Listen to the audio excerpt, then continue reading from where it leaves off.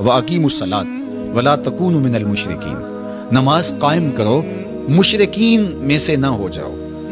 तो मतलब क्या हुआ कि नमाज़ कायम ना करना नमाज़ ना पढ़ना यह तरीका मुशरकिन है इसलिए कहा कि उनके साथ तुम्हारी मुशाहबत अच्छी तो नहीं लगती इसलिए तुम्हें तो पंजगाना नमाज़ अदा करना होगी तो अहले ईमान का उसलूब ज़िंदगी यही होना चाहिए कि वो पंज गाना नमाज़ के ज़रिए अपने रब के हुजूर हाजिर होते रहें। एक नमाज़ के बाद दूसरी नमाज़ का इंतज़ार करते रहें। नमाज़ में राहत पाएँ, नमाज़ में करार जाँ और तस्किन कल्ब तलाश करें। और यकीनन नमाज़ कल्ब की, रूह की तस्किन का सबब